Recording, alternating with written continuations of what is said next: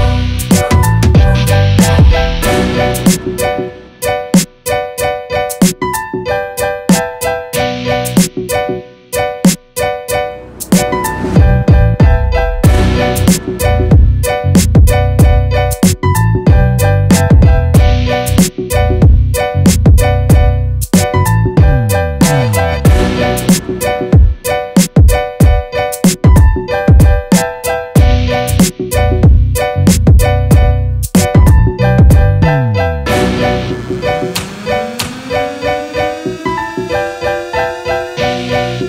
you